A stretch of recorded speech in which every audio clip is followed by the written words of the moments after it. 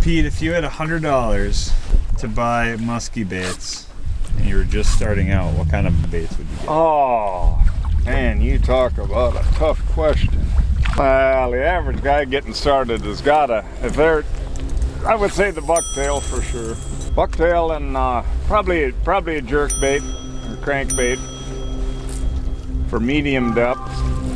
Top water works great, but they're, you know, if you're prioritizing things, I would say they're, you know, generally best just in the warm water period, so they're not quite as versatile.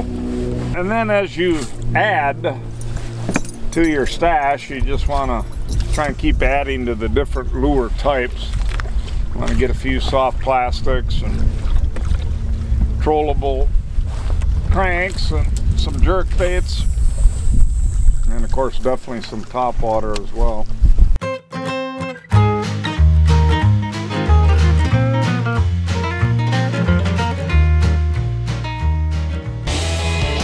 Hey, thanks for watching our video. Click subscribe to see what else we're up to. Pete Maina had $100 today to spend on musky lures. What would he buy? I would probably go for a trolling bait of some kind. There's some uh, fair amount of homemade ones out there. Just look for something real unique. I would probably have to test a few.